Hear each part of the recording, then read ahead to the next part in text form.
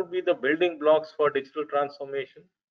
It requires connectivity. Without connectivity, obviously, there is no digital transformation.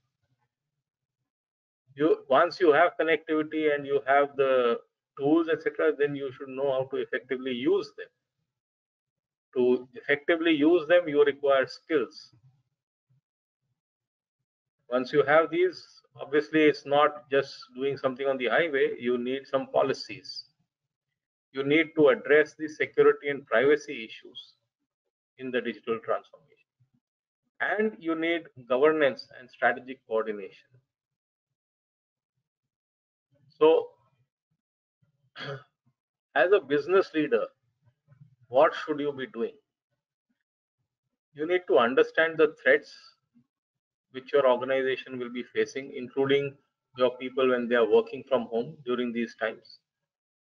You will have to provide clear guidance uh, and encourage communication from them so that they ensure that the policies are clear and easy to use when they are doing it from home and they know whom to contact if there is any issue or suspicious activity that they see.